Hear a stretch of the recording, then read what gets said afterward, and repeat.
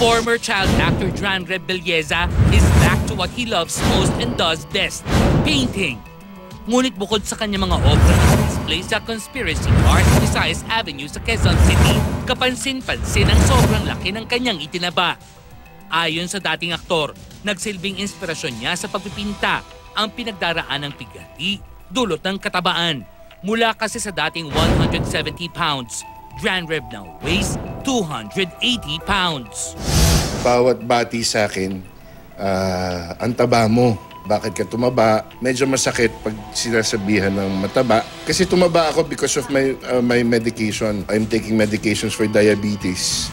Kaya back to exercise and ano uh, da- diet. So mahirap 'yon. Yun yun yung ano pighati doon.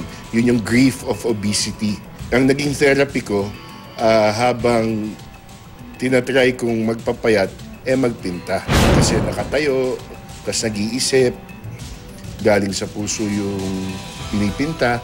So, ito si Gran Reb ngayon, or si Reb Belleza ngayon, sumusubok, lumalaban sa buhay. Bumalik ako dito sa Conspiracy Cafe after six years. So, medyo magulo lang ako mag-isip. Mag- mag-isip.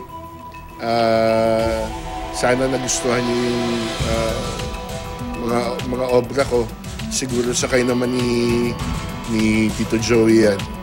Siguro sakay naman niya. At lahat ng ano, at si Hart. Hanggat maaari, ayaw nang sariwain pa ni Reb ang mga pinagdaan ng sakit na naging banta sa kanyang buhay. Taong 2008, nang iulat ang Showbiz Central na kinailangan niyang sumailalim sa isang spine operation. Nasundan pa ito ng balitang dinapuan din siya ng prostate cancer. Una, lymphoma, ah, lymphoma, ah, and then natanggal yun.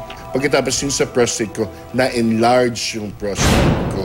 Nung gumaling na ako, nagpa-opera ako sa likod, na nilig oo, nilagyan ako ng semento sa likod. Pagkatapos umuwi ako dito sa Pilipinas, yun nga yung pagpapagamot ko sa Chinese General Hospital. Yung, yung findings na meron akong enlarged prostate na we were panicking. Nagkamali yung doktor. Ito yung naging resulta. Diabetes and uh, pagiging overweight.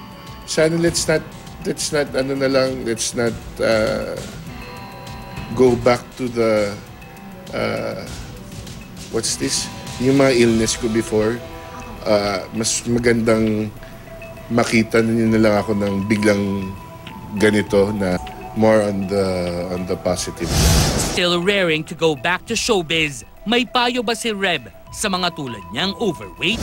tibayan yung loob nyo. Pag pinalinggan kayo, eh, totoo naman, huwag kayong magagalit. Pag sinabi nilang mataba ka, siguro iniisip din nilang kalusugan ninyo.